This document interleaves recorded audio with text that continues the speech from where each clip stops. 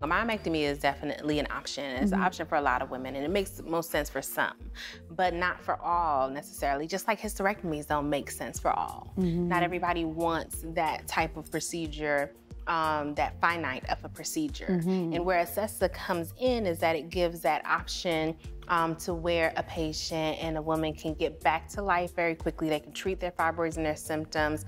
They cannot have a lot of pain and discomfort mm-hmm. when they're recovering. I was shocked. The most I, I uh, was taking in terms of a prescription was the 800 milligram yeah. ibuprofen. Mm-hmm, like gold. That's all I took. It was just a good choice for me. Um, it allowed me within uh, within a week to be back on my feet, moving around.